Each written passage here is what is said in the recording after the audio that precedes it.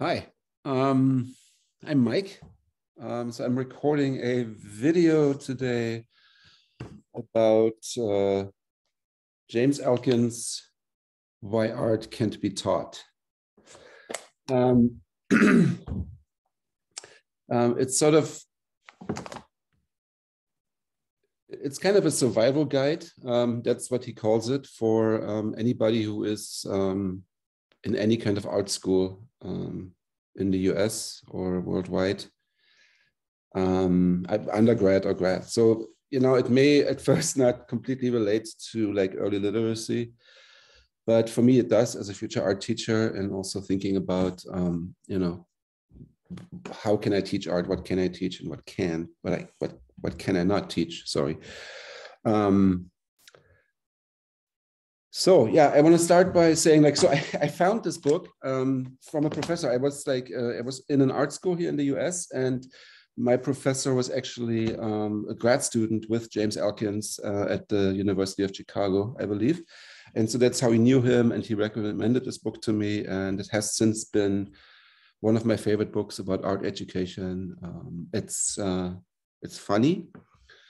Um, it's very direct. It uh, he doesn't mince words. Um, okay, and so now I'm going to go into that a little bit, um, what it's about and why it's important to me and why it might be important to you. Um, so I have been in and out of art schools like for like most of my adult life, I think. Um, so I've I've seen all kinds of different art schools, um, and then I have also taught as as a at an art school here at the University of Iowa, of course. So there are like a lot of misconceptions when it comes to art and teaching art and what students can expect when they come to an art school or take an art class. Um, and Elkins is like going really deep into that, right? So, um, so he he starts the book by by sort of having a having a bunch of um,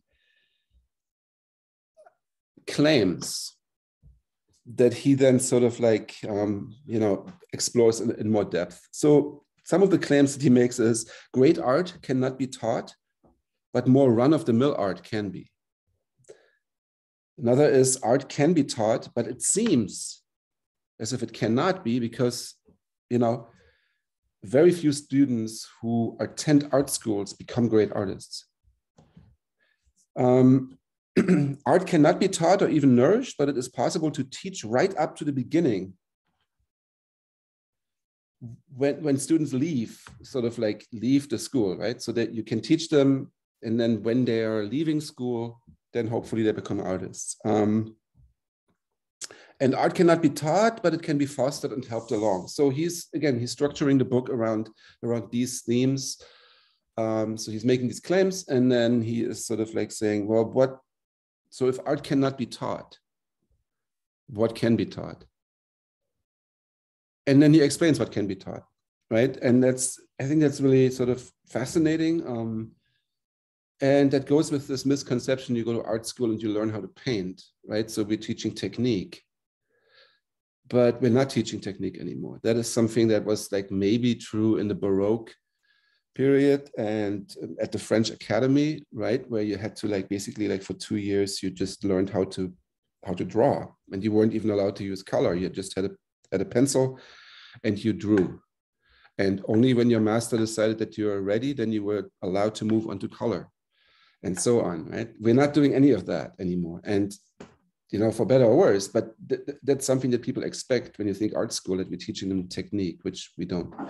Um, so in a way it's it, it really has become sort of like almost like a human humanities um, discipline where we talk about the implications of art um, what art could look like and things like that right? So he's going into that as well um, and then something that is relevant for for this class i feel and for for you know my future as an art teacher is that there are there are curricular um, implications, I think, um, that are sort of what should be in the curriculum. What is it we can teach? What can we not teach? Um, how does that look in the end? Like what what are the things that we're assessing, right? So it's it's I mean art in art class, it's like notoriously difficult to grade an art project, right? Um, for example, like most people would say, well, you can, you know, if as long as there's effort, you know, there's a lot of effort, and so I give you an A.